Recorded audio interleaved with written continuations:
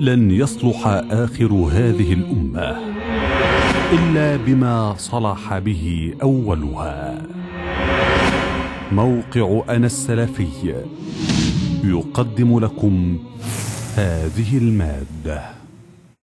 الحمد لله وأشهد أن لا إله إلا الله وحده لا شريك له وأشهد أن محمدا عبده ورسوله صلى الله عليه وآله وصحبه وسلم. أما بعد قال المصنف رحمه الله قد أخبر الصادق المصدوق صلى الله عليه وسلم أن الفرقة الناجية هم من كان على مثل ما كان عليه هو وأصحابه. وليس أحد من هؤلاء كذلك. ليس أحد من هؤلاء الفرق التي سبق ذكرها وبيان عقيدتها. ليسوا كذلك بل إنهم قد ضلوا من قبل وأضلوا كثيرا وضلوا عن سواء السبيل. وذلك لأنه لا يعرف ما كان عليه النبي صلى الله عليه وسلم وأصحابه.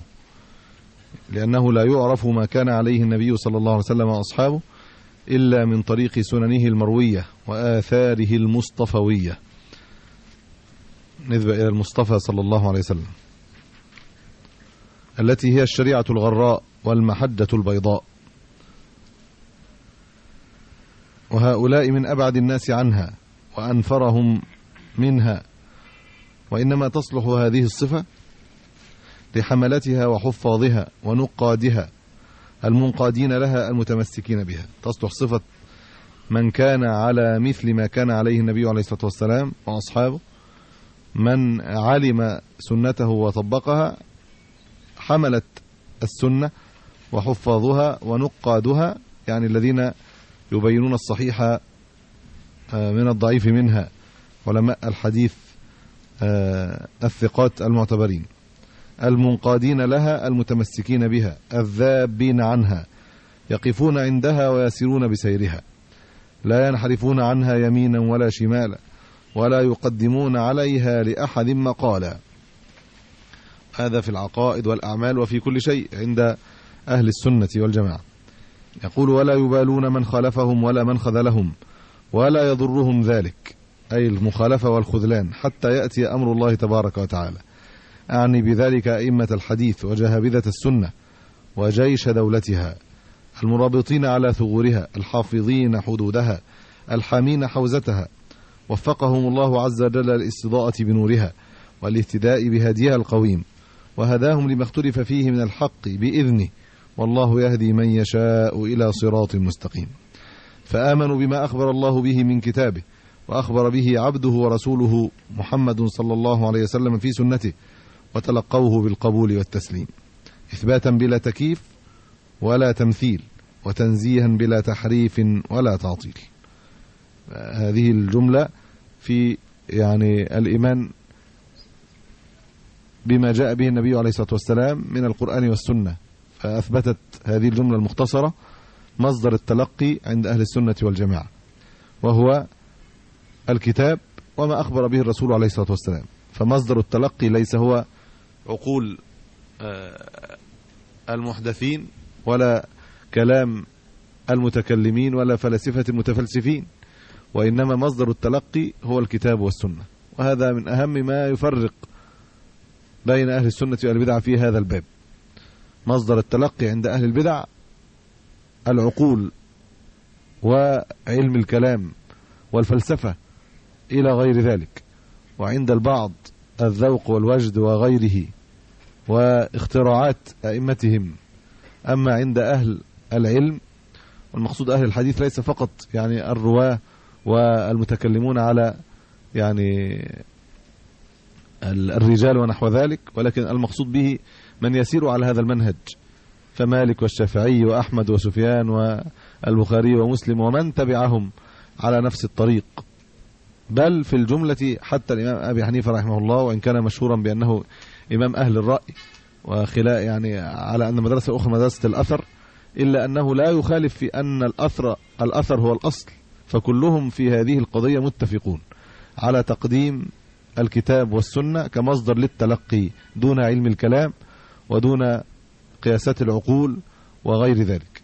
ثم إنه قال تلقوه بالقبول والتسليم إثباتا بلا تكييف ولا تمثيل إثباتا للأسماء والصفات وإثباتا لما أثبته الكتاب والسنة بلا تكييف بلا اعتقاد كيفية معينة. وهذا أعم من التمثيل. التمثيل تشبيه بمثل معين وهو الذي ورد بنفيه الكتاب. قال عز وجل ليس كمثله شيء وهو السميع البصير. وأما التكييف فقد ورد نفيه من كلام السلف في الكلمة المشهورة على الإمام مالك رحمه الله عندما سئل عن استواء فقال استواء معلوم والكيف مجهول والإيمان به واجب والسؤال عنه بدعة. فالتكييف منفي العلم بلا تكييف نعلمه وإلا فلها كيفية لكن لا نعلمها.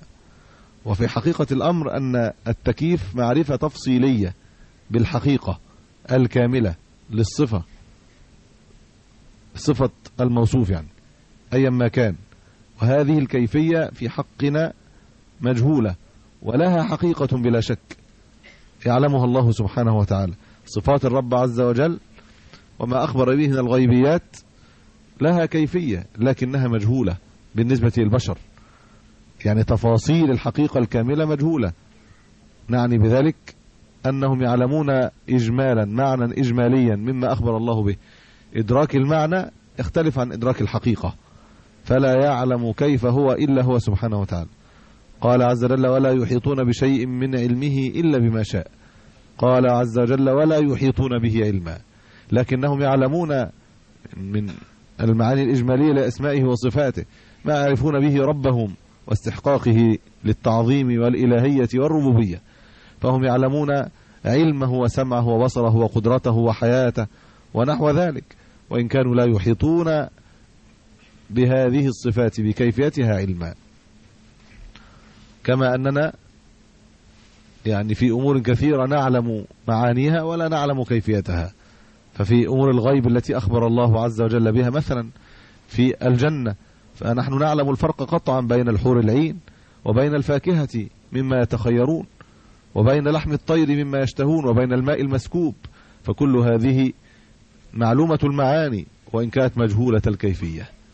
لا ندري كيف الماء المسكوب مع أننا نجزم أننا فهمنا معنى يختلف عن معنى الخمر مع أن كلاهما سائل.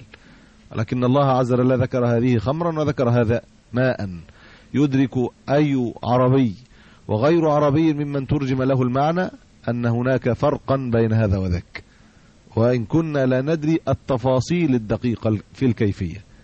وهكذا فيما هو أولى من ذلك ما ذكرنا في الحور العين فالحور العين نساء ولحم الطير لحم طعام يؤكل وإن كنا لا ندري كيفية ذلك كما ذكرنا والله أعلم. أما نفي التمثيل فهو مطلق. إذا نفي التكييف مقيد بعلمنا. يعني لا تكييف نعلمه ولها كيفية لا نعلمها. لا نقول لصفات الله مثل لا نعلم لا ليس له مثيل سبحانه وتعالى. ليس كمثله شيء وهو السميع البصير.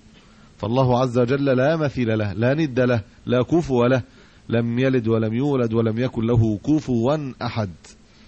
وقال عز وجل ومن الناس من يتخذ من دون الله أندادا يحبونهم كحب الله والذين أمنوا أشد حبا لله. فنفى الأنداد سبحانه وتعالى. وغير ذلك كثير في القرآن والسنة في إثبات أن الله عز وجل ليس كمثله شيء.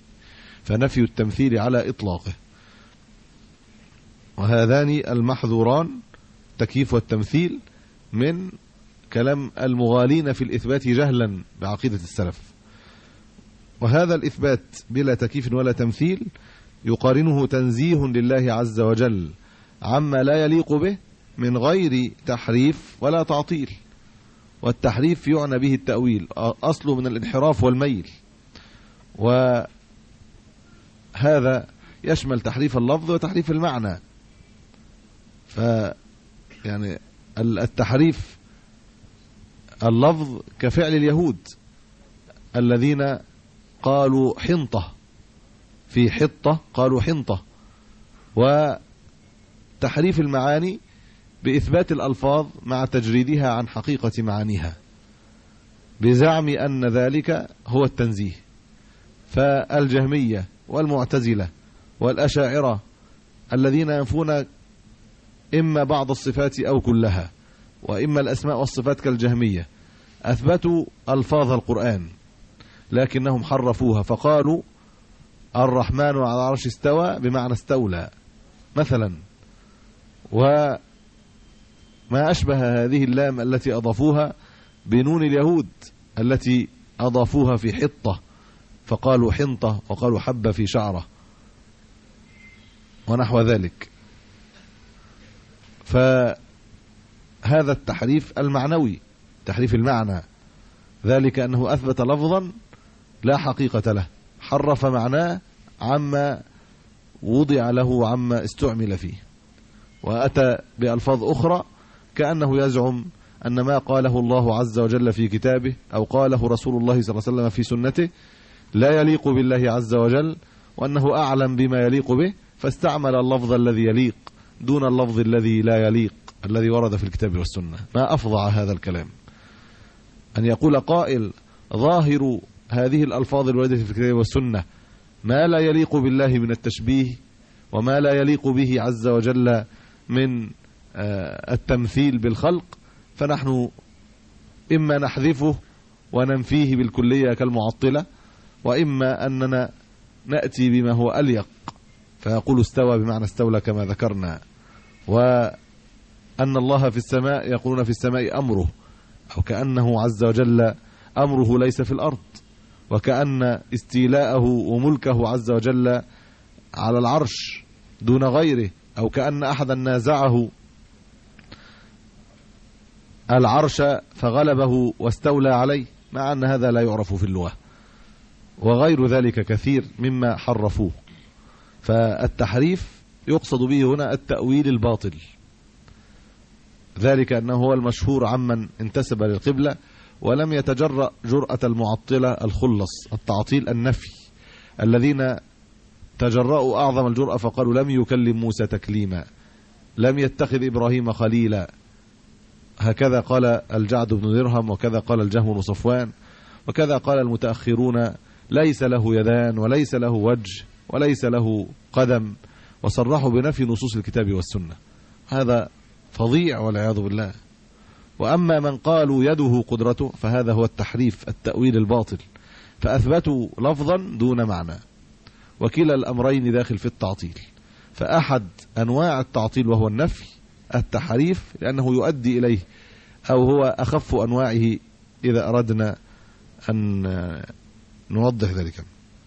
يقول فأهل الحديث والسنة تلقوا ما ورد في الكتاب والسنة بالقبول والتسليم إثباتا بلا تكييف ولا تمثيل وتنزيها بلا تحريف ولا تعطيل. وهو يعني استعمال الأربعة ألفاظ هذه كان دقيقا فيها متابعا لشيخ الإسلام تيمية في العقيدة الواسطية حيث ذكر أنه استعمل هذه الألفاظ خصوصا اللي هو لفظ التكييف لأنه وارد في كلام السلف والتمثيل لأنه وارد في القرآن والتحريف لأنه وارد في القرآن والسنة يحرفون الكلمة عن مواضعه ذم هذه الألفاظ يعني والتعطيل لأنه وارد في كلام السلف أيضا. فبدأ من أن يقول مثلا ألفاظ أخرى ممكن التحريف يقول التأويل والتأويل معلوم أنه هو يحتمل عدة معاني فالتحريف أولى الألفاظ بما ذكره المؤولة. وكذا المفوضة. فإن التفويض الذي يقوله المتأخرون من تفويض اللفظ من تفويض الكيف والمعنى معا حيث تصبح آيات الصفات وأحاديثها عبارة عن حروف لا معنى يفهم منها لها معنى مجهول كالكلام الأعجمي فهذا في الحقيقة نوع من التعطيل. نوع منه يعني. هو التعطيل الصريح معنى النفي. يقول ليس كما ذكرنا يقول ليس له يدان ليس لم يستوي على العرش لم يكلم موسى تكليما. ده أصل التعطيل أو أصرح أنواعه أشدها. بعض المتأخرين لما قال إن لها تأويل لها تفسير لا يعلمه البشر. وحملوا على ذلك قوله تعالى وما يعلم تأويله إلا الله. فقالوا لها شيء يعني يصرفها له معنى يصرف عنه هذا الظاهر مع نفي الظاهر مع نفي أن يكون الله له يدان. يقول لها معنى. إيه المعنى؟ مجهول. المعنى مجهول. ما قالوش زي الإمام مالك ما قال الاستواء معلوم والكيف مجهول. لا ده قالوا الاستواء مجهول والكيف مجهول. يعني الاستواء عبارة عن استوى ألف سين ت واو ألف. كأنك خاطبت إنسان وقلت له كده ألف لام راء ه ميم ألف نون عين لام ألف ألف سين ت واو ألف. قلت له كده. قابلته فقلت له إيه؟ هذا الكلام. فأي واحد يعني يدرك يقول لك أنت بتقول إيه؟ أليس كذلك؟ لو قلت مثلا واو ه واو ألف لام سين ميم يه عين ألف لام ب صاد يه ر لما يقعد يفكر فيها لو قلت واحد كده يبقى بتقول له إيه؟ بتقول له حروف جنب بعضها. كأنه كلمته بلغة أجنبية. أعجم كالكلام الأعجمي. عبارة عن حروف مرصوصة جنب بعضها. لما يجي واحد يقول وهو السميع البصير يفهم كلام تاني قطعا. لو قلت لطفل صغير ربنا سميع بصير. يعني بدأ يدرك معاني الكلام يفهم إيه؟ معنى. وإن ربنا يسمع ويبصر. ربنا سمعك ربنا يراك. فأنت أطفال آه، يعني الناس فضلا يعني لو قلنا العرب لو حتى غير العرب تترجم لهم لأنه كل هذه الكلمات لها معاني قابلة للإيه؟ للترجمة.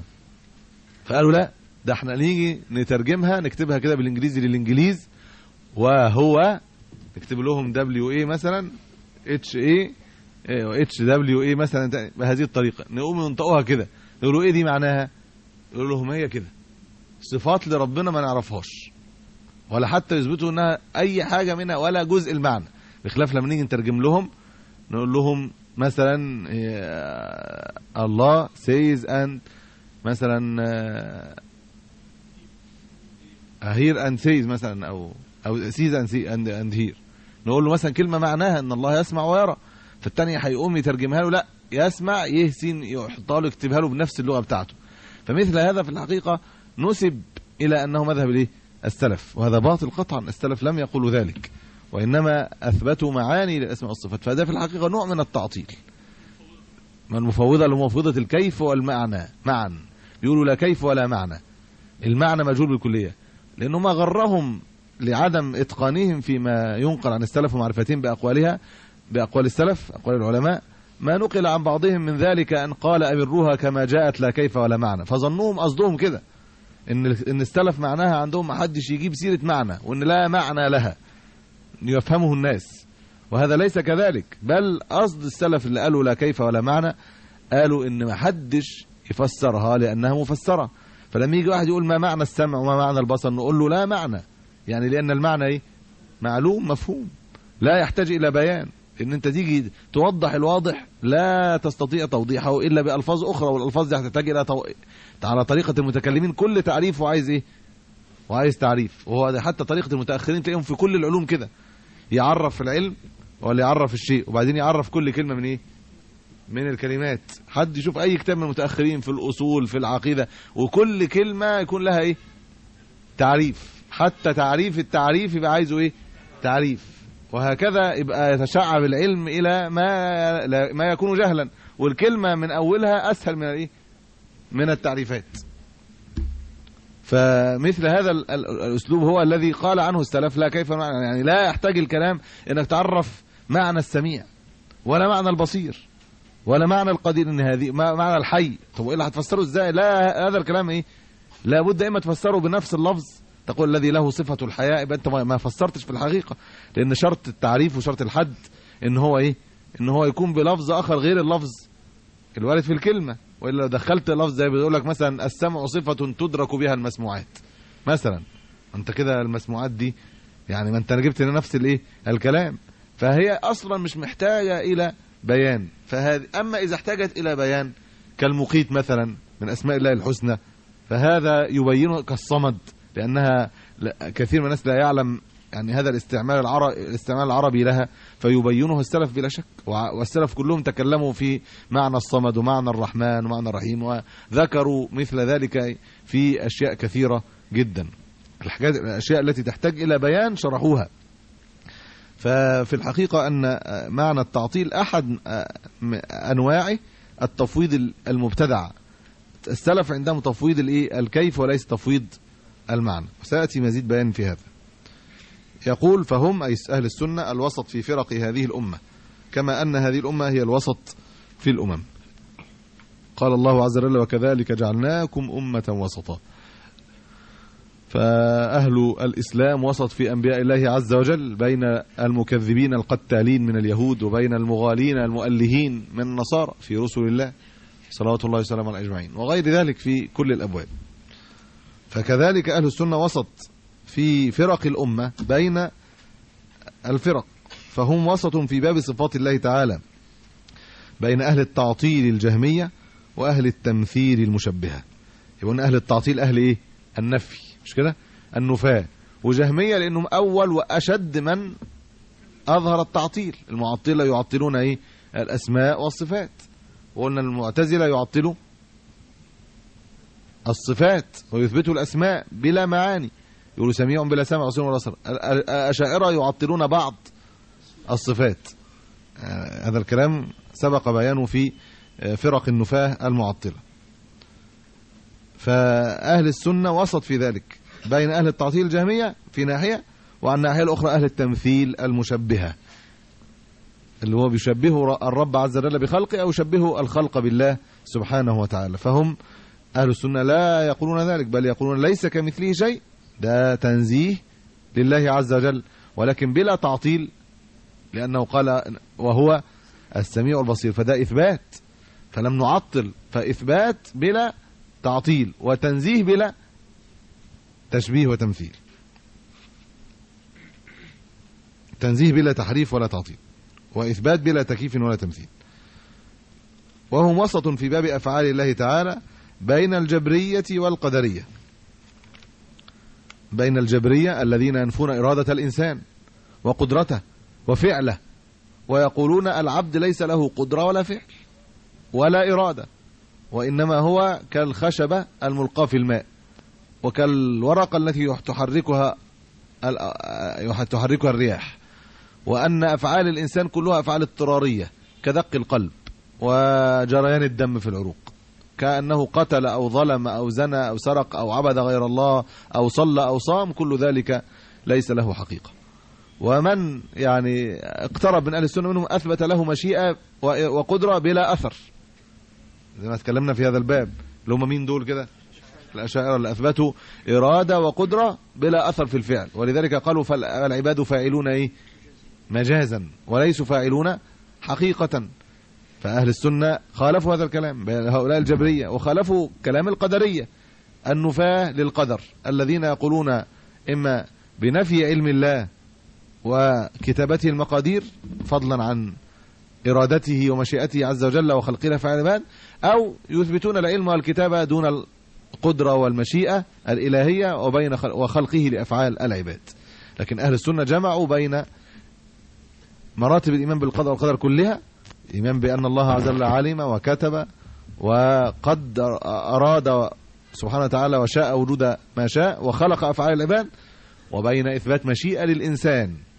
بها يقع فعله وقدرة خلقها الله عز وجل لها أثر في الفعل وهي سبب أو جزء سبب في الحقيقة. سبب من أسباب وقوع الفعل الإنساني. وقلنا بها يقع فعله ولذلك فالعباد فاعلون حقيقة كما أثبت ذلك القرآن وأثبت أعمال ال ال الإنسان. فالأعمال المكلفين وأعمال الملائكة وغيرهم. فأهل السنة وسط في ذلك. جمعوا بين الحق الذي عند الطائفتين وتركوا الباطل الذي عند الطائفتين. وهم وسط في باب وعيد الله بين المرجئة والوعيدية من القدرية وغيرهم. وإنما بالوعيد بين المرجئة القائلين بأنه لا يضر مع الإيمان معصية. الوعيدية نوعين مين الوعيدية الخوارج ومين؟ والمعتزلة. والمعتزلة اشتهر عنهم أنهم إيه؟ قدرية. زي ما يتقال عنهم أيضا أنهم إيه؟ جهمية. معانا كده؟ فهنقول إيه اللي دخل القدرية هنا تاني؟ ما القدرية تبع اللي فاتوا مش كده؟ لأن ده اصطلاح على المعتزلة. آه يعني ده أحد أسماء المعتزلة. فكأنه قال من الخ... من القدرية والخوارج من المعتزلة والخوارج. بس هو اللفظ هنا كان ينبغي ان هو يسهله بدل ما يجعله كده إيه في صعوبة. يعني فهو فهو وسط في باب وعيد الله بين المرجئة والوعيدية. مين الوعيدية؟ الخوارج والمعتزلة. المعتزلة هم قدرية وهم جهمية أيضا. بس ما جابش جهمية. طب ليه من أساميهم خصوصا؟ لأن الجهمية في باب الوعيد مرجئة غلاف الإرجاء. مش كده؟ بيقولوا إيه المرجئة دول؟ الإيمان. بيقولوا الإيمان هو المعرفة. مش كده؟ الجهمية بيقولوا الإيمان هو المعرفة وعموم المرجئة بيقولوا الإيمان معرفة بالقلب وإيه؟ ونطق باللسان. من غير عمل القلب ومن غير عمل الجوارح. وأهل السنة قالوا الإيمان قول وعمل ونية وقالوا إنه يضر مع الإيمان المعاصي بحيث أن إذا رجحت السيئات حسنات دخل النار أو استحق دخول النار. فالواعدية خوارج ومعتزلة أو قدرية اللي هم المعتزلة وغيرهم اللي هم الخوارج. فقالوا بتخليد مرتكب الكبيرة في النار. هم واعدية من أجل جمعهم لهذا. اختلفوا في إيه هم الخوارج والمعتزلة؟ في اللفظ في اسم مرتكب الكبيرة. فالخوارج سموه كافر والمعتزلة سموه فاسق. ف- آه، ففاسق عندهم مش من يعني في الحقيقة في منزلة بين منزلتين نعم. فباب في باب وعيد الله بين المرجئة والواعدية من المعتزلة وغيرهم. يعني نقول من القدرية اللي هم المعتزلة. غيرهم هم الخوارج.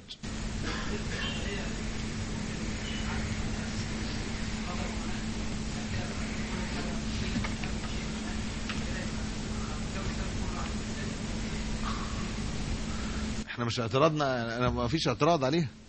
إحنا بنقول بس هي كده بقت صعبة في الحتة دي لأن هي باب الوعيد يتقال اسمهم اللي هم تميزوا بيه في الوعيد واخد بالك؟ فهم تميزوا باسم القدرية علشان هم إيه؟ هم في القضاء والقدر نفاة فسموا قدرية يعني هم كان هم قالوا إن الإسلام بيصنع قدره. فهم لكن هو ده اسمهم اللي في باب الق- القضاء والقدر. حتى إن الشيخ الإسلام تيمية في رسالته اللي هو بيقول اللي هي رسالة ال- الرد على الشيعة والقدرية القدرية اللي هم المعتزلة. يقول وفي باب الأيمان الإيمان والدين وفي باب الإيمان والدين الإيمان اسم بقى ده هو قريب هو باب الوعيد زي ما قلنا مسألتين هم بس داخلين في مسألة واحدة. الوعيد اللي هو الجزاء في الآخرة واسم الإيمان بقى ده اسم مؤمن ولا كافر ولا فاسق في الإيمان والدين بين وحقيقة الإيمان قول وعمل ولا قول فقط ولا اعتقاد فقط ولا كل الأقوال والأفعال شرط في أصل الإيمان. فأيضا هم وسط في باب الإيمان والدين بين الحرورية والمعتزلة. ده من جانب وبين المرجئة والجهمية. الح- الحرورية اللي هم مين؟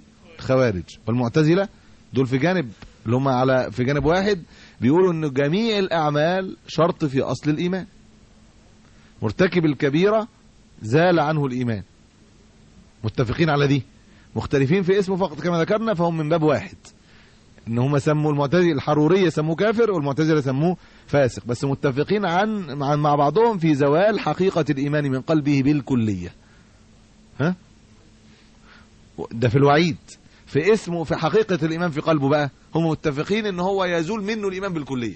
طالما ترك حاجة واجبة وطالما ارتكب كبيرة يبقى زال منه الإيمان.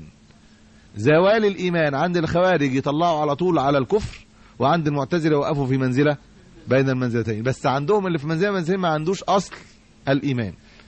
عند أهل السنة مرتكب الكبيرة فاسق عنده أصل الإيمان وليس عنده كماله الواجب. بيقول بين الحرورية والمعتزلة دول في جنب وبين المرجئة والجهمية. المرجئة معروف والجهمية دول غلاة الإيه؟ المرجئة. فهو جاب المرجئة الجهمية هنا تاني مع إن المشهور اسمهم في الإسماء والصفات لكن ده لأنه بالنسبة إلى جهم وجهم مرجئ في باب الإيمان والدين اللي قالوا الإيمان هو المعرفة. فهو أحد الجهمية دول أحد أنواع المرجئة. الإخوة حاطين ايدهم على خدهم. الكلام مش مفهوم دلوقتي؟ اللي ذاكر الم- ال- المحاضرات اللي فاتت أكيد هيكون فاهم إن شاء الله. ها؟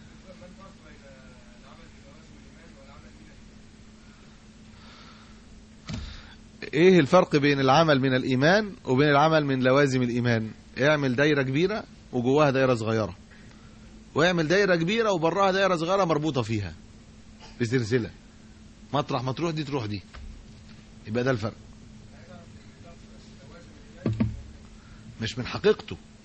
اللي يقول إن هو بقول لك ركز معايا في الكلام دايرة كبيرة جواها دايرة صغيرة. يبقى ده اللي قال إن العمل من الإيه؟ الإيمان. الدايره الكبيره شاملة الدايرة الإيه؟ الصغيرة. اللي قال من لوازمه قال الإيمان ده ممكن يبقى كامل في الإنسان بس العمل براه مش من حقيقته. واخد بالك؟ وده من من لوازمه. يعني مطرح ما يوجد الإيمان يبقى لازم العمل يجي بس هو مش منه. والصحيح إن هو منه طبعا. إن العمل من الإيمان. ماشي؟ زي ما بقول لك دايرة كبيرة براها دايرة تانية صغيرة ولازقه فيها. يبقى ده اللي بيقول من لوازم الإيمان. اللي قال منه يبقى دايرة كبيرة جواها دايرة صغيرة. والخلاف في الحقيقة لفظي أو قريب من اللفظ. نعم. اللي قالوا من لوازم الإيمان هو مرجئة الفقهاء صح. ودول معدودين ضمن ال- يعني السنة في بالك؟ يعني لأن هو مخالفتهم زي ما قلنا خلاف لفظي وإن كانوا أخطأوا في ذلك. لأن مخالصتهم في الآخر يعني القول نفسه قول خطأ بلا شك. ولكن يعني الأمر فيه يعني آه، يعني هم أقرب بلا شك إلى السنة من البدع. يقول وفي أصحاب رسول الله صلى الله عليه وسلم بين الرافضة والخوارج. هو كان الأنسب أن يقول بين الرافضة والنواصب. ال- يعني دلوقتي الرافضة غالوا في أهل بيت الرسول صلى الله عليه وسلم وأسبوا الصحابة رضي الله عنهم. والخوارج كفروا علي بن أبي طالب رضي الله عنه. وهو في في الجزئية دي هم أعداء للإيه؟ للن... لل... لل... للرافضة. لأن الرافضة بيغالوا في علي والخوارج إيه؟ كفروا عليه. بس هو في الحقيقة إن يعني الاثنين بيجتمعوا مثلا على سب عثمان رضي الله عنه. والخوا و... و... يعني ولذلك هم الأولى كان في مسألة الباب ده هنا يتقال النواصب. لأن النواصب الذين سبوا أهل البيت. النواصب في غلوهم في يعني تعظيم أبي بكر وعمر إلى غلو في سب أهل بيت النبي عليه الصلاة والسلام. أو في تعظيم أبي بكر وعمر وعثمان. فدول اللي هم غلوا في يعني في الصحابة حتى سبوا أهل البيت. وده لا يجوز بلا شك وأهل السنة وسط في هذا الباب. فهم يحبون أهل بيت النبي عليه الصلاة والسلام ويحبون الصحابة رضي الله عنهم ويترضون عنهم. لكن الخوارج بلا شك أيضا من الذين سبوا آه، يعني أصحاب رسول الله صلى الله, عليه وسلم في سبهم علي رضي الله عنه وتكفيرهم إياه وتكفير معاوية ومن معه. الخوارج على سبيل المثال ما بيسبوش أبو بكر وعمر. ها؟ يعرفون لهم قدرهم نعم. ما, يسب إنما يكفروا علي بن أبي طالب وبعضهم كفر عثمان. لكن ما بيسبوش أبو بكر وعمر. فهم مش مخالفين الجزئية دي؟ يعني كما ذكرنا هم في يعني تشابه يعني أو هي عدة فرق مخالفة في الصحابة. طبعا كفروا معاوية بالأولى. إذا كفروا علي يبقى كفروا معاوية بالأولى فالخوارج يكفرون معاوية. يقول فهم والله أهل السنة والجماعة. طبعا هم اسمهم أهل السنة لأنهم يتمسكون بالسنة.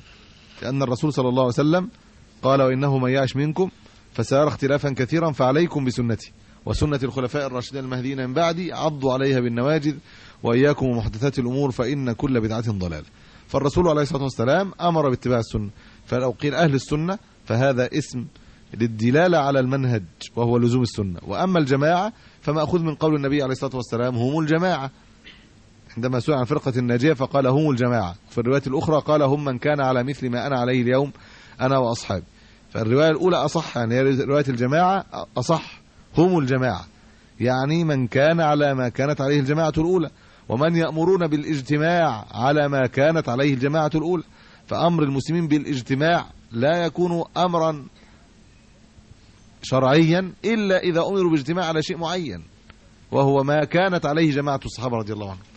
أما الاجتماع المطلق لا المهم نجتمع كما ينادي به البعض حتى إنه لا ينادي بالاجتماع بين مثلا أهل السنة والرافضة وبين أهل السنة والجهمية وبين أهل السنة والصوفية وبين أهل السنة وبين الخوارج مثلا إذا كانوا لهم سلطان وسطوة زي الإباضية مثلا.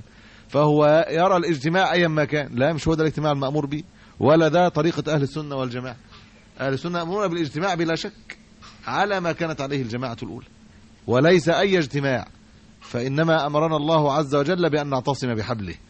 لا أن نجتمع على يعني أي صورة.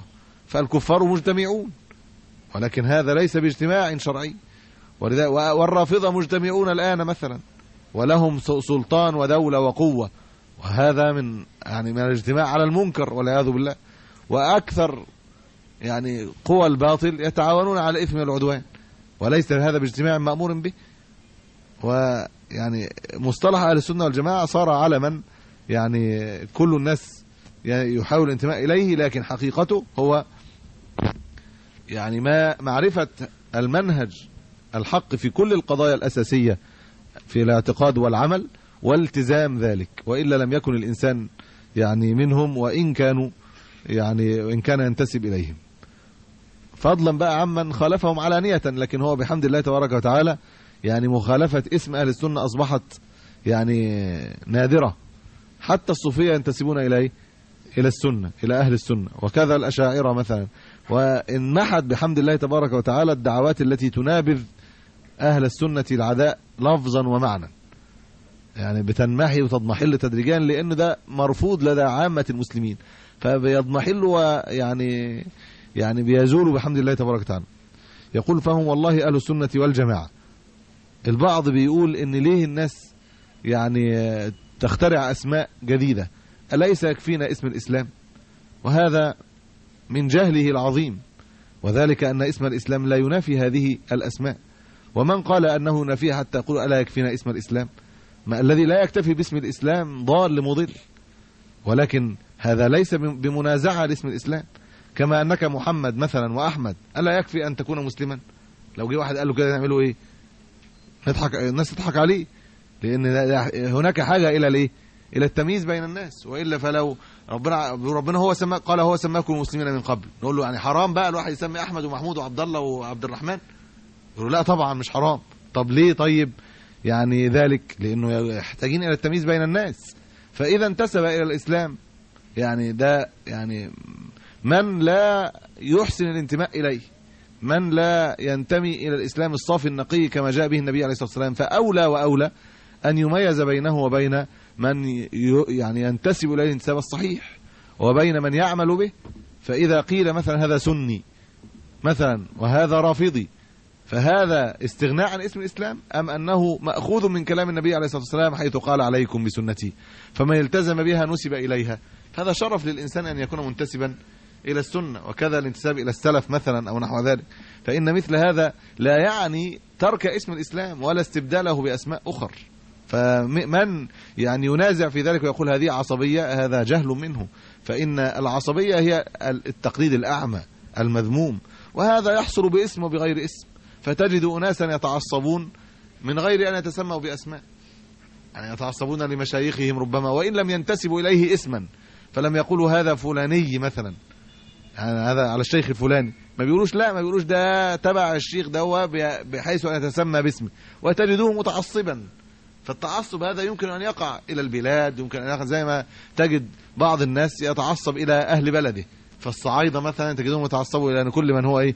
صعيدي مثلا والسكندري يتعصب إلى كل هو سكندري بحيث انهم يجوا يتخانقوا يروح جاي يقولوا إيه الإسكندرية يجوا مثلا أو الصعايدة يجوا. فمثل هذا الكلام يؤدي إلى إيه؟ إلى الفتنة المذمومة وده المحرم. زي ما يتعصبون إلى البلاد يقولوا مثلا المصريين تلاقي واحد يعيش في بلد يبقى المصريين دول أحسن ناس والغير المصريين دول أسوأ الشعوب. مع إن المصريين وغير المصريين فيهم الطيب وفيهم الإيه؟ الخبيث. وانت تلاقي تاجي يقول لك الشعب ده شعب وحش جدا. فلسطين دول أوحش ناس. السعوديين دول أسوأ ناس. تانيين يقول لك السعوديين ده أحسن ناس. الخارجيين دول هم المقدمين. مثلا كل هذه العصبية يعني سواء تسمى أو لم يتسمى دي ده عصبية جاهلية خطيرة. إنه مثلا يقدم الناس اللي من أهل بلده ثم من أهل مثلا يعني منطقته مثلا ويقدمهم على غيرهم ويعطيهم حقوق أكثر من غيرهم. هذه عصبية جاهلية بلا شك. وإن لم يكن بأسماء وإن كانت بأسماء تبقى ازداد السوء والعياذ بالله. العصبية الرسول صلى الله عليه وسلم جعلها عصبية ودعوة منتنة في أشرف الأسماء إذا حاصلت التعصب. وذلك حيث قال دعوها فإنها منتنة لمن قال يا للمهاجرين يا للأنصار. جاي يتخانق علشان فلان مهاجري وده ده جاي يتخانق عشان فلان إيه؟ أنصاري. من غير أن يعرف المحق من المبطل. ومع ذلك لم يلغي الرسول عليه الصلاة والسلام الإسماء. وهل اسم الإسلام نافى اسم المهاجرين والأنصار؟ واسم السابقين ومن أتى بعدهم والتابعين مثلا. ربنا عز وجل قسمهم أقساما فقال والسابقون الأولون من المهاجرين والأنصار والذين اتبعوهم بإحسان. ففي اسم السابقين وفي اسم التابعين أتى ما بعد هذه أسماء لا تنافي الإسلام. التعصب المذموم هو أن يكون الإنسان مقلدا بالباطل.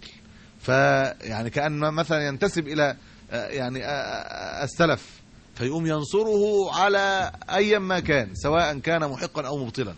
وإن مش كل من انتسب إلى السلف يكون محقا في كل أموره. أو كل من لم ينتسب إليهم يكون مبطلا أيضا. يعني لو إنسان انتسب إلى جماعة أخرى غير مبتدعة مثلا. لم ينتسب إلى الخوارج مثلا. لو قال أنا خارجي فهو مذموم بلا شك لأن هذه هذا علم على فرقة ضالة مبتدعة. وقال أنا معتزلي. يكفينا ذلك. لكن واحد انتسب إلى أهل السنة في الجملة أو انتسب إلى اتجاه يعني إسلامي آخر وهو على الحق في اعتقاده. يبقى لابد أن نحبه ونواليه على ذلك. وإن كان يعني لم ي... أبى الانتساب إلى الاسم وإن كنا ننازعه في هذه المسألة ونقول له لا يجوز أن تنكر التسمي بالايه بهذه الأسماء. العصبية مذمومة على أي حال وكما ذكرنا العصبية يعني معناه أن يكون الإنسان مقلدا بالباطل وبغير علم أما أن يتعصب للحق يعني معنى يشد من أزر المحق فهذا واجب. يتعصب يعني يكون عصابة جماعة على الحق فهذا أمر مأمور به وأمر واجب أننا يعني يشد بعضنا بعضا على الحق. أما المذموم وهو التحزب الباطل وهو أن يكون الناس مجتمعين على خلاف ما أمر به الكتاب والسنة. طب اللي عنده يبقى يكتبها إن شاء الله. يقول وهم الطائفة المنصورة إلى قيام الساعة. هذا من كلام النبي عليه الصلاة والسلام. لا تزال طائفة من امتي على الحق ظاهرين لا يضرهم من خالفهم أو خذلهم حتى تقوم الساعة. ف الحقيقة أن هذه الأحاديث الواردة في وجود الطائفة المنصورة تشمل نوعين من الظهور ولذلك فسره العلماء بنوعين من التفسير. أو بنوع يعني ب... على طريقتين في التفسير. فمن العلماء من جعل ذلك الطائفة المنصورة من جهة المنهج والاعتقاد. ولذلك قال الإمام أحمد إن لم يكونوا أهل الحديث فلا أدري من هم. وقال البخاري في باب الاعتصام في باب قول النبي صلى الله عليه وسلم لا تزال طائفة من أمتي على الحق ظاهرين فقال وهم أهل العلم. وذكر نحو ذلك الإمام الشافعي رحمه الله في مقدمة الرسالة وذكر أنه إجماع أهل العلم وليس للاجتماع الأبداني معنى. وإنما هو إجماعهم فما أجمعوا عليه فهو اللازم الاتباع فهذا معنى الظهور الأول وهو ظهور الحجة والبيان. ومنه قول شيخ الإسلام تيمية في العقيدة الوسطية فهذا اعتقاد الفرقة المنصورة الظاهرة إلى قيام الساعة أهل السنة والجماعة. فهذا لا شك فيه وهو أن أهل الحديث هم أهل السنة والجماعة لأنهم معظمون الحديث. ولذلك كما ذكرنا يدخل فيهم من كان من يعني مكثرا من استعمال الرأي لكنه على تقديم الحديث كأبي حنيفة رحمه الله وأصحابه الطحاوي مثلا وغيره ممن يعني يكثرون من استعمال القياس لكنهم في الجملة معظمون للحديث مقدمون له على ما خلفه ف المعنى الأول معنى الظهور والنصرة الظهور ظهور الحجة والبيان. وهذا حاصل لكل من كان من أهل السنة والجماعة ولو كان مستضعفا في بدنه وفي بلده وغير ذلك ولم يكن ممكنا. ومعنى الطائفة فيه كما ذكرنا هو المذكور في قول النبي عليه الصلاة والسلام وهم الجماعة في الفرقة الناجية وهي فرقة واحدة على مر العصور وهي فرقة واحدة في الأرض كلها وليس لها إمام خاص إلا الرسول صلى الله عليه وسلم. إنه قال من كان على مثل ما أنا عليه اليوم أنا وأصحابي. ولذلك يجوز أن يكونوا متفرقين في البلدان وهم منهج واحد وعقيدة واحدة. أما المعنى الثاني الذي فسر به العلماء أحاديث الطائفة المنصورة فهو الذي مال إليه الإمام مسلم رحمه الله حيث وضع هذا الحديث في كتاب الجهاد. وهناك روايات يعني صريحة في ذلك حيث قال لا تزال عصابة من أمتي تقاتل عن هذا الدين فأخبر وأن أن طائفة من الأمة لا تزال قائمة بأمر الله. كما في حديث معاوية لا تزال طائفة أمتي قائمة بأمر الله. فهذا يعني يشمل معنى أخص من معنى منهج وهو الظهور ظهور القوة والسنان. وظهور يعني التمكين. فالحق لا يزول بالكلية من الأرض من هذه الأمة كما زال ممن قبلها. بمعنى أنه لا تزال أمة الإسلام ظاهرة على جزء من الأرض. إن زال سلطانها من بلد لم ينعدم من بلد آخر. بل لا تزال طائفة تقاتل عن هذا الدين ولا يزال الجهاد ماضيا بإذن الله. تبارك وتعالى. ولذلك فالقيام بأمر الله سبحانه وتعالى أمر لازم ولا تزال طائفة مجتمعة على القيام بأمر الله. وهذا من أعظم ما يلزمنا وهو أن نجتمع على التعاون على البر والتقوى لإقامة أمر الله سبحانه وتعالى. ولا يكفي أن يكون الناس على منهج حق متفرقين لا يجتمعون على إقامة الدين بل يلزمهم أن يكونوا على منهج الحق في اعتقادهم ومنهجهم ويعني عملهم كذلك ولا بد أن يجتمعوا لإقامة الدين لإقامة وإظهار دين الله سبحانه وتعالى من جهاد وحكم وحسبة وخلافة ويعني قضاء وغير ذلك من الواجبات الشرعية. فأهل السنة أولى الناس بهذا الوصف. ومن كان منهم يعني ظاهرا فهو الذي اجتمع فيه المعنيان. بحمد الله تبارك وتعالى.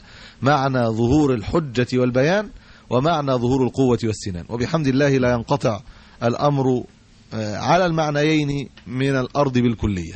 وإنما ينقطع من بعض البلاد في بعض الأزمنة كما أن بلادا يغلب عليها مثلا الضلال بدع الضلال كالرفض مثلا وكالاعتزال أو الخوارج. اعتقاد الخوارج.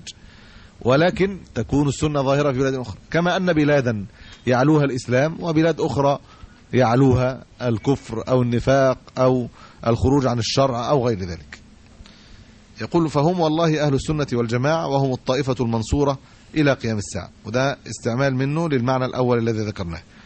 يقول الذين لم تزل قلوبهم على الحق متفقة مؤتلفة. متفقة مؤتلفة وأقوالهم وأعمالهم وعقائدهم على الوحي لا مفترقة ولا مختلفة يعني لا تفارق الوحي ولا تخالفه. فانتدبوا لنصرة الدين دعوة وجهادا وقاوموا أعداءه جماعات وفرادا يعني على حسب الإمكان. وما أمكنهم أن يجتمعوا على نصرة الدين وجب عليهم ذلك. ولم يخشوا في الله لومة لائم ولم يبالوا بعداوة من عاد فقهروا البدع المضلة. وشردوا بأهلها. شردوا بهم يعني كما قال الله عز وجل فشرد بهم من خلفهم لعلهم يذكرون. فالتفريق شردوا بأهلها أن فرقوا أهلها ومن أتى بعدهم. ممن خلفهم فرقوهم عن هذه البدع المضلة لأنها صارت مقهورة مغلوبة في الحجة فلم يلتزم بها الناس. يقول واجتثر واجتثوا شجرة الإلحاد بمعاول السنة من أصلها. شجرة الإلحاد وهو الميل عن الحق. الإلحاد اصطلاحا في واقعنا المعاصر نفي وجود الله لكن عند المتقدمين من أهل العلم كل نوع من الإيه؟ من الميل والانحراف. ومنه اللحد في القبر. فإنه ميل إلى جهة القبلة بعد أن يحفر يميل إلى جهة القبلة يجعل فين حفر إلى جهة القبلة. فأصل الإلحاد عندك في كلام أهل العلم يعني الميل عن الحق والانحراف عنه. لكن المعاصرين يستعملون الإلحاد في إيه؟ في معنى خاص. يقول لك الملحدين. يعني واحد يقول لك إحنا عايزين نقف وجه الملحدين. يبقى مين الملحدين اللي هم قصدهم بيهم في, في اصطلاح الناس المعاصر اللي هم اللي بينكروا وجود الله؟ مثلا كأنه يقول لك عايزين نقف مع اليهود والنصارى في وجه الإلحاد. مثلا. هو الحقيقة إن الالحاد إن اليهود والنصارى إيه؟ ملحدين لأنهم مالوا عن الإيه؟ عن الحق. قال عز وجل وذروا الذين يلحدون في اسمائه يعني يميلون على الحق والذين ادعوا له الصاحبه والولد أكثر الناس أو من أكثر الناس إلحادا. فهنا على إصطلاح العلم الشرعي وهو الميل بصفة عامة. يقول فبهاتوهم بالبراهين القاطعة في المحافل العديدة وصنفوا في رد شبههم ودفع باطلهم وإدحاض حججهم الكتب المفيدة. فمنهم المتقصي للرد على الطوائف بأسرها ومنهم المخلص المخلص لعقائد السلف الصالح من غيرها. يعني البعض بيجتهد في الرد على الفرق وبعضهم يعني يخلص عقيدة أهل السنة ويذكرها يعني خالصة من غير شوب البدع. ولا شك طبعا إن الذي يذكر عقيدة السلف يعني خالصة أهم بلا شك يعني إن الرد على أهل البدع إنما يعني يحتاج إليه أعظم الاحتياج عندما تنتشر البدع. يقول ولم تنجم بدعة من المضلين الملحدين إلا ويقيض الله لها جيشا من عباده المخلصين. فحفظ الله بهم دينه على العباد وأخرجهم بهم من ظلمات الزيغ والضلالة إلى نور الهدى والرشاد. وذلك مصداق وعد الله عز وجل بحفظ ذكره الذي أنزله كما قال تعالى إنا نحن نزلنا الذكر وإنا له لحافظون. فكل ما يذكر الله عز وجل به من الكتاب والحكمة فهو مما أنزله الله من الذكر. كما قال عز وجل وأنزلنا إليك الذكر لتبين الناس ما نزل إليهم. قال عز وجل وأنزل الله عليك الكتاب والحكمة. فالكتاب القرآن والحكمة سنة الرسول عليه الصلاة والسلام. فكلاهما محفوظ وكلاهما ذكر لله. بل لا يذكر الله إلا بهما. يقول تعالى وإعلاء كلمته وإعلاء لكلمته مصداق وعد الله وإعلاء لكلمته وتأييدا لحزبه إذ يقول وإن جندنا لهم الغالبون. وبعدين ذكر سبب نظم المتن وتأليف الشرح. المتن أصلا اللي هو آه، سلم الوصول إلى مباحث علم الأصول. ولما انتشر ولقى قبولا آه، طلب منه شيخه اللي هو القرعاوي أن هو يؤلف شرحا فكان هو شرح معرج القبول. ذكرنا يعني من سن الشيخ رحمه الله عند وفاته كان نحو من بضعا وثلاثين سنة. فكان يعني رحمه الله تعالى نسأل الله أن يرحمه حيث أنه يعني أتقن غاية الإتقان في جمع الأدلة في هذا الشرح الطيب. ما المقصود بحوار الأديان؟ عند من يتكلم في هذا الباب عندهم آه، البحث عن نقاط الاتفاق التي يخدعون بها الناس. وإلا فالواجب مناظرة أهل الباطل حتى يرجعوا عن باطلهم وهم لا يعنون ذلك. فإن هذه المجالس المعدة لحوار الأديان لا يبحثون في الرد على النصارى مثلا والرد على اليهود وإثبات باطلهم وإنما يقولون بأن الأديان ما يتفق منها ويعني يتحد فيها فنحن آه، نتمسك به وندعو إليه. هل في صفة النزول نقول أن الله ينزل بذاته مع عدم خلو العرش منه؟ أم نقول ينزل نزولا يليق بجلاله دون ذكر كلمة ذاته؟ وده الصحيح. يعني إحنا نقول ينزل كما يشاء دون أن نذكر كلمة ذاته. وإن كان عدم خلو العرش منه مأخوذ من دليل آخر. وهو أنه الرحمن على العرش استوى أنه فوق العرش. فالنزول لا ينافي خلو يعني لا ينافي استواءه على العرش حتى يقول يخلو منه العرش. وذاك الصحيح أنه يقال ينزل ولا يخلو منه العرش. لأن الأدلة الأخرى أثبتت استواءه على العرش ولم تثبت أنه يترك هذا هذه الصفة. أما لفظ ذاته فيعني لم آه، يرد في الأحاديث. فلذلك لا نقوله. وفي قربه سبحانه وتعالى نقول هو قريب من عباده قرب يليق جلاله أم قرب إحسان وتوفيق لعباده المؤمنين؟ إذا قلنا قرب إحسان وتوفيق عشان نميزه عن قرب العلم والإحاطة. ولكن هو قريب من عباده قربا يليق بجلاله بس من عباده عموما يبقى قرب علم وإيه؟ وإحاطة. وأما قرب التكريم والمحبة فهو قرب من خاص بعباده المؤمنين. وليس معنى إثبات قرب إن هو إحسان وتكريم أو محبة إن هو يقال إن هو لا يقرب حقيقة بل هو يقرب قربا حقيقيا يليق بجلاله. بيقول في أحد الدكاترة في كتاب الجماعة والجماعات قال إن عدم توحد الجماعات الإسلامية يدخلهم في دائرة الفرق وكلهم يذمون على ذلك. هذا كلام منكر. فإذا كان الأمر كذلك فأهل السنة يذمون على ذلك. إذ لم يتحدوا مع أهل البدع. هذا كلام فاسد بلا شك. الذي يذم من خالف الإيه؟ الحق. الذي يذم من من خالف منهج أهل السنة والجماعة. الذي خالف الذي يذم هو الذي أبى أن يتعاون على البر والتقوى. حتى في من يتفق معه على المنهج فقال لا نتعاون على يعني ما يلزم من إقامة الدين لأن ذلك هو من التعصب مثلا كما ذكرنا. فهذا الكلام هو الذي يذم الذي يتحمل إثم التفرق هو الذي سعى ومارس التفرق. وهم أهل البدع وأهل التقصير فيما أمر الله عز وجل به من الواجبات الكفائية وغيرها. فإطلاق الكلام من الجماعات الإسلامية كلها تذم على ذلك؟ يبقى هو أول المذمومين. لأن واحد طب لو بقينا اتنين مع بعض على حاجة يبقى دول مذمومين هم كمان. طب ما يبقى أولى بالذم الواحد. إذا كانوا 100 مذمومين يبقى الواحد أيضا هو آخر متفرق وراه ها؟ لا إقرارها بالباطل الذي عند الصوفية يمنع أن تكون من أهل السنة. لكن أناس منها ممكن يكونوا غير مقرين لذلك ويكونوا من أهل السنة. لو اعتقد أهل السنة هنقول له يعني لابد وأن يقر بأن الباطل بأن هناك طرق صوفيه باطلة. فهتلاقيه بيتأول الكلام اللي بتقوله الجماعة. أنا مش عايز أسئلة كتير قوي كده. اسبقيه العلم الإلهي عند محمد عبده ما يعني إن العلم الإلهي سابق لكن محمد عبده يميل في قضايا دي إلى إلى إلى المنطق العقلي. رجل هل يجوز قراءة الإنجيل وغيره من الأديان الباطلة؟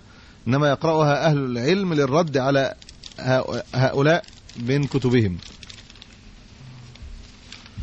أما أن يسمح لجميع الناس بقراءتها فهذا من أعظم الخطر.